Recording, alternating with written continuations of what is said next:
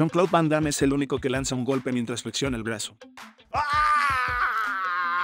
Y tú miras el músculo, en vez del movimiento que hace. Hola, soy Uriah Hall.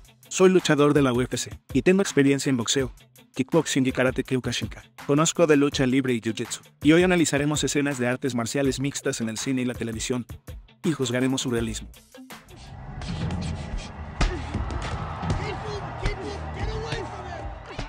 Al principio está lanzando golpes a lo loco, pero no es conveniente hacerlo, porque te deja muy expuesto, lo cual el grandote aprovechará. Si estoy luchando contra alguien que es más grande que yo, el movimiento siempre va a ser importante, porque hacer que me persiga lo desconcentrará. Debo ser veloz si me enfrento a alguien que es más grande que yo. Las técnicas directas y rápidas funcionarán, porque son más veloces que las curvas, ya que los golpes al cuerpo frenan a cualquiera. Si lo comparo con cortar un árbol, comenzaría por la raíz para después acabar con la parte de arriba. En la guillotina que yo conozco, la cabeza del contrincante está aquí. A veces puedes poner su cuello aquí debajo y usar tus caderas, es más bien una posición de la cadera. Tiene a ese hombre contra el octógono. Es muy difícil levantar las caderas cuando alguien te presiona así, pero puedes concentrarte más en tus manos, por lo que parece una posición bastante realista. Es muy pequeño para hacer ese movimiento. Si alguien te agarra del cuello, lo obvio es que pongas una mano encima, así. Así que, naturalmente, lo que tienes que hacer es bajar para que la persona ruede por debajo de ti. Pero es difícil levantar a la persona. Esto se ve realista, aunque algo exagerado. Si se está dando vuelta para hacer una llave de brazo, está creando demasiado espacio. Y el contrincante podría arrancarle el brazo fácilmente, porque en el momento del agarre, debes estar muy cerca. No hay que dejar espacio. Lo que he notado mucho en cuanto a la representación de las artes marciales mixtas en películas es que buscan un gran efecto dramático.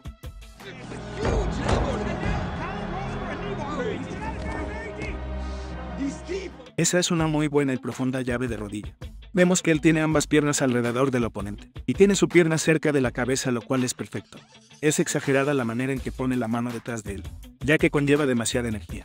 Cuando lo que debes hacer es cerrar la mano y empujar la cadera hacia adelante. Sin dudas, a esto le daré un 8 de 10, porque creo que nos presenta el mundo MMA, y también cuenta una gran historia.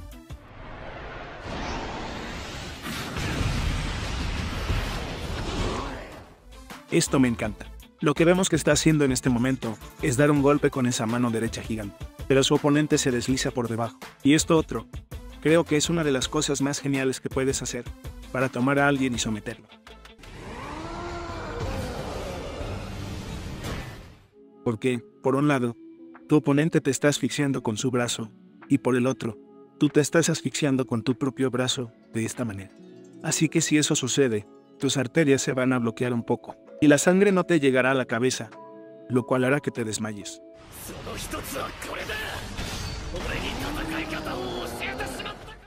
Aunque quizás no lo creas, eso es totalmente cierto. Aquí vemos que hace una llave de judo, y luego solo tendría que poner su brazo en el medio y empujar sus caderas hacia arriba, para lograr una llave de brazo de esta manera. Si la persona se vuelve hacia ti, puedes transicionar a un triángulo. Allí se ve un gran control, porque si puede poner sus piernas alrededor del oponente, sin lugar a dudas, lo habrá controlado. Creo que mucha gente piensa que si estás por encima del oponente todo el tiempo, llevas la delantera. Pero puedes usar tus piernas para tirar de él y controlarlo, para empujar y tirar. Es decir, puedes empujar su brazo, traerlo hacia ti por debajo de la axila, alejar tus caderas, tirar de su brazo, y si puedes rodear su cintura con tus piernas, podrás tirar de tu contrincante. En general, si alguien está encima de ti, puedes golpearlo. Pero desde aquí vemos que su pierna está bloqueada. Uno de los brazos del oponente está libre, pero no puede hacer mucho. Podría golpearlo, pero quien está debajo está muy lejos y es difícil hacerlo.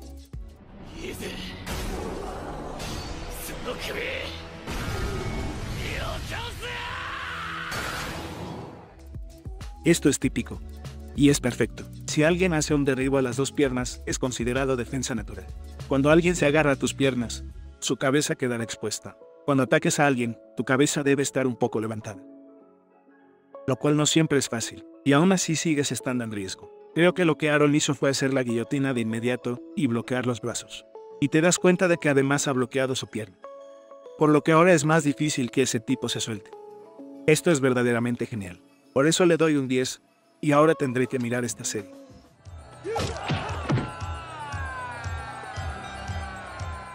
Me encanta Sean Claude Van Damme, porque es alguien que me ha inspirado a patear porque, ya sabes, soy pateador. He noqueado con patadas giratorias y he aprendido otros tipos de patadas geniales. Cuando tenía 12 años, esto era mi vida. La patada curva es una de mis patadas favoritas. Esa fue bastante precisa, aunque hay muchas maneras de hacer ese tipo de patada. Si estás usando tu espinilla, te recomendaría que le patees la pierna o el cuerpo. Podrás golpearlo en la cara un poco más fuerte usando tu espinilla. Eso nunca funcionará. Nadie va a quedarse inmóvil para recibir la misma patada una y otra vez. Levanta las manos, amigo. En una pelea real, lanzaría muchas patadas bajas, porque como luchador, pienso más como francotirador. Soy el tipo que espera, busca la oportunidad perfecta, la toma y es muy preciso con ella. Y eso se lo atribuyo a mi formación en karate, porque allí teníamos que hacer patadas tornado, para patear las manzanas de las cabezas de los demás. Ese es el tipo de precisión que tuve que tener y que me ayudó durante el resto de mi carrera. Jean-Claude Van Damme es el único que lanza un golpe mientras flexiona el brazo. Y tú miras el músculo, en vez del movimiento que hace.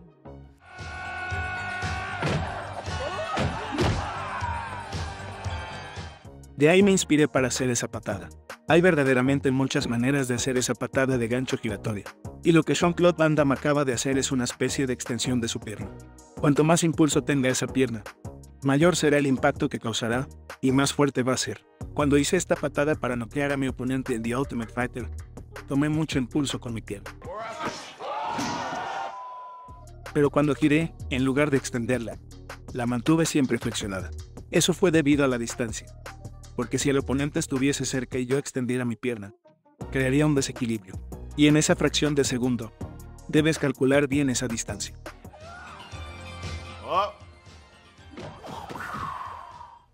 Llevo muchísimos años practicando hacer esa patada. Y todavía no me sale bien. Tienes que ser capaz de poder abrirte bien de piernas para hacer eso, porque cuando extiendes esa pierna estás usando la otra pierna para impulsarte, y así generar esa potencia. Esto no es tan realista como parece, porque es tanta la energía necesaria para hacer eso, que se necesita tiempo, y en ese tiempo el contrincante podría emplear un mecanismo de defensa para apartarse. Mucha gente no entrena esta zona de la pierna. Quiero decir, esa carne del área de la pantorrilla, o incluso justo debajo del tobillo, lo cual puede ser muy poderoso. Creo que este tipo de patadas puede hacerte ganar una pelea. Esta es una gran película, pero no es realista. Así que le daré un 5. Lo siento, hermano.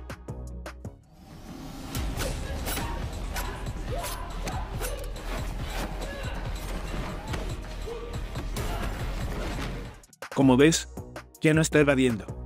Y eso es clave también.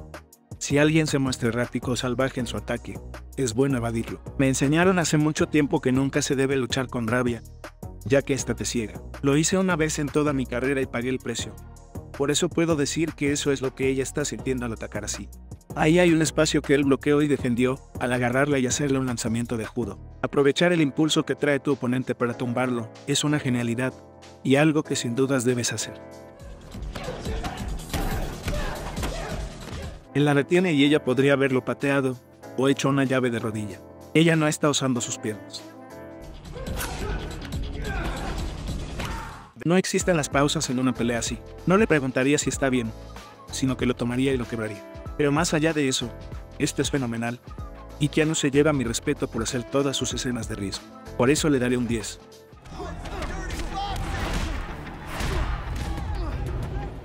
Veo algunas cosas curiosas.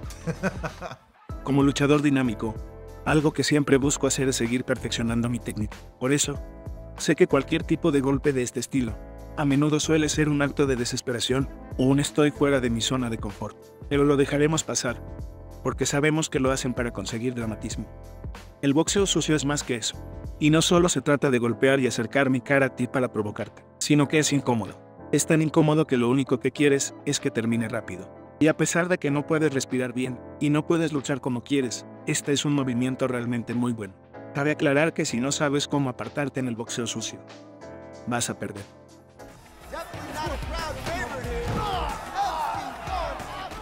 Fíjate en esa caída. Nadie cae y se sujeta las piernas. Si en MM estás caído durante más de 2 o 3 segundos, se considera casi como un noqueo. Si me lastimé una pierna, no quiero hacer que eso sea tan obvio. Es probable que dé una patada con esa pierna herida, porque cuando mi oponente se dé cuenta, lo usará a su favor. Entiendo que lo que esta película muestra es lucha clandestina, así que no aplica ninguna regla. Pero en una pelea del UFC, un árbitro notará eso.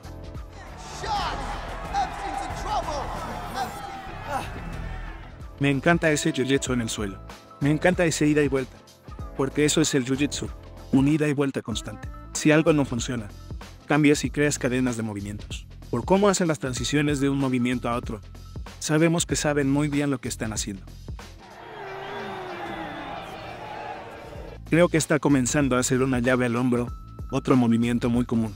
Este es uno de esos movimientos en los que estás atascado, y si realmente no sabes cómo salir de él, podrías resultar herido.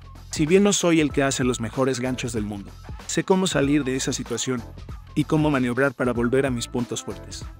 Lo que naturalmente trataría de hacer es rodar. Si te fijas, esa persona va a evitar automáticamente que el otro ruede, y esta es una de esas posiciones en las que se entra en un punto muerto. O te preguntas quién decidirá si se mantiene al oponente en el suelo o no. Aquí vemos que el que está debajo ha perdido. Soy una persona muy fuerte. Si alguien me hace una llave al hombro, no creo que eso logre derrotarme. Como mucho, si me presionara muy fuerte, me dislocaría el hombro. Esa es mi opinión. Le daré un 9 de 10, porque me parece que la parte del jiu-jitsu está muy bien hecha.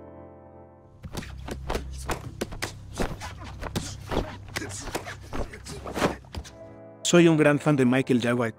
Es más, aprendí una patada de Michael J. White, quien tiene unos 17 cinturones negros en su haber. Así que ese tipo es realmente talentoso. Luchar es como bailar, porque ambos tienen ritmo.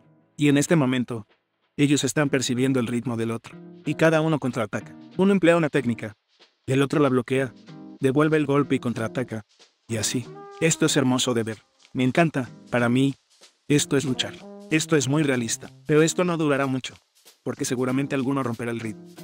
Ya sea por miedo, porque sus movimientos no están funcionando, por dudar de sus capacidades o por lastimarse.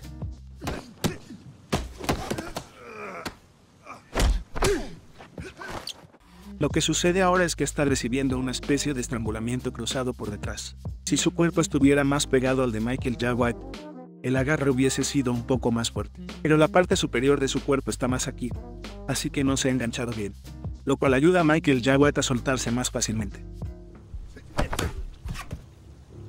Me encanta que alce su mano y le dé una patada baja, para golpearlo por arriba. Lo hago todo el tiempo.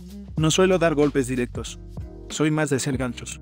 Pero él es Michael Jaguet. Fingir es una de las mejores tácticas que utilizo al competir, porque interrumpe el ritmo de la pelea lo que me permite crear un espacio. Y si creo ese espacio, entonces puedo beneficiarme de los puntos débiles de mi oponente. Y una vez que logro hacer reaccionar a mi contrincante, podré contrarrestar su ataque más eficazmente. Así es como debería verse una pelea, bueno, más o menos.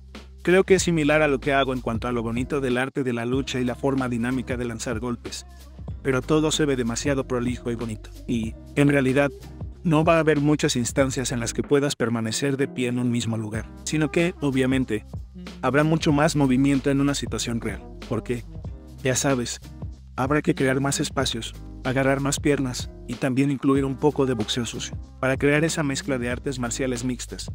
Pero lo que vemos aquí se ve demasiado prolijo. La única forma que existe para que algo así funcione es gracias a la diferencia de tamaño.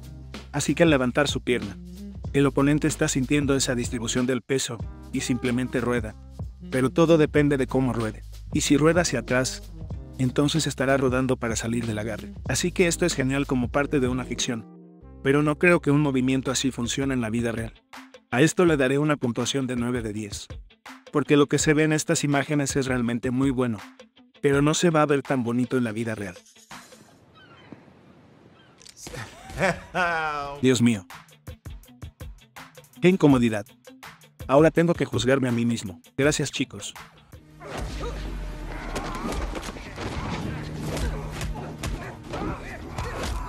Esta fue una escena genial. Trabajé junto a uno de los mejores.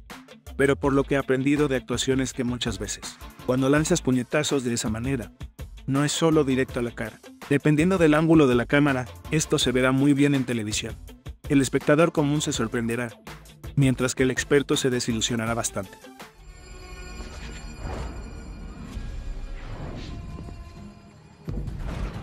La postura lo es todo. Mi postura es otra línea de defensa, con la que debo asegurarme de poder proteger mis cuatro zonas vulnerables, es decir, mi cabeza, mi cuello, mi plexo solar y mi ingle. Todos ellos forman una línea recta. Ese ángulo de 45 grados que se ve la mayoría de las veces está protegiendo todo. Allí estábamos sintiendo el ritmo del otro.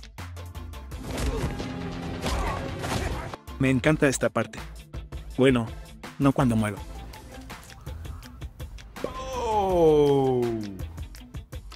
Mira, me morí como un campeón.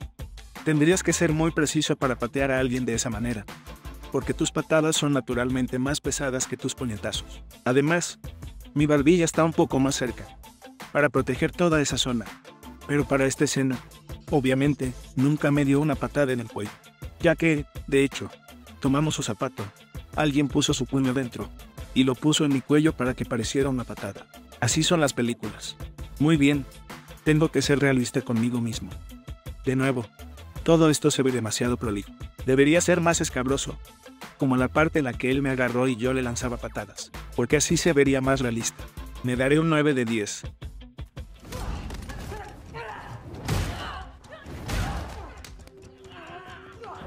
Aquí utilizan el entorno de espacios reducidos como ese, lanzándose mutuamente contra él y rebotando en él. Esta parece una pelea real. Lo que mucha gente no tiene en cuenta es que eres fuerte en esta zona, pero a medida que bajas, todo se hace más débil, por lo que tu muñeca es naturalmente débil. Así que, cualquier cosa que implique ejercer presión sobre esto, ayudará a aliviar esa presión. Creo que tomar algo instintivamente para golpear a la otra persona es algo que siempre funciona muy bien.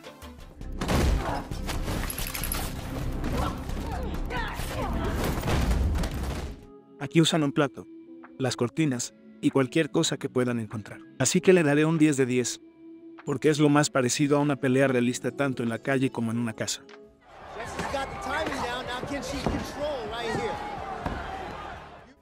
Eso es una señal de alerta. No debes darle la espalda, por supuesto.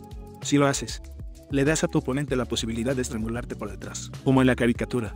Debes enroscar tus piernas en el contrincante. Primero debes llevar tus caderas hacia atrás, mover tu rodilla hacia adentro, y luego tratar de enroscar tu pierna alrededor del oponente. Pero ella tiene una rodilla levantada, lo cual dificulta que la otra persona se pueda imponer. Eso es defensa natural.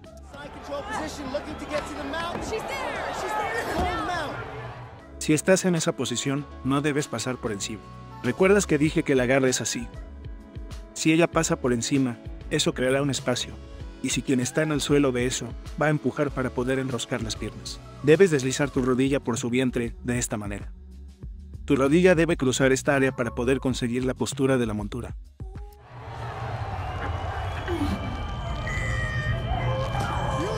Es mucho más fácil para la persona de arriba taparle la boca a la persona de abajo.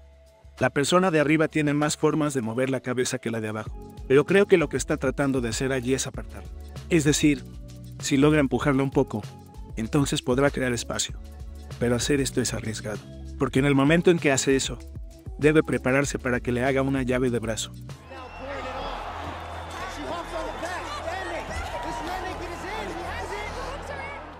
Si eso sucede, es el final, te desmayarás. Debe ser muy difícil salir de allí. Hacer una estrangulación desnuda es muy similar a cómo se mueve una serpiente. Haz esto alrededor del cuello del contrincante. Y si colocas el pliegue de esta parte del brazo aquí, entonces la habrás logrado. Lo que me gusta hacer cuando muevo el brazo así es agarrarme el hombro, porque así cierro la postura. Creo que Hal hizo un gran trabajo. Metió un brazo y luego el otro, justo así. Una vez que está en esa posición, todo lo que tiene que hacer es apretar para básicamente evitar que la circulación de la sangre llegue a la cabeza. En mi opinión, Halle Berry hizo un gran trabajo al meterse en la piel de esta luchadora de MMA. Hubo algunas cosas pequeñas en cuanto a los espacios que se crearon, pero no me parece que hayan sido demasiado significativas. Estoy un poco indeciso, pero creo que a esto le daré un 8 de 10. Creo que mi escena favorita es la de la película Black Widow. Si quitásemos el octógono, además de todas las reglas y demás detalles, una verdadera riña sería así. Una pelea donde se desplazan y usan todo el entorno. Esto es lo más cercano que he visto a algo digno de la vida real, en lo que respecta a las artes marciales mixtas. Así que muy bien hecho Black Widow. Gracias por ver. Si te gustó este video, mira este otro.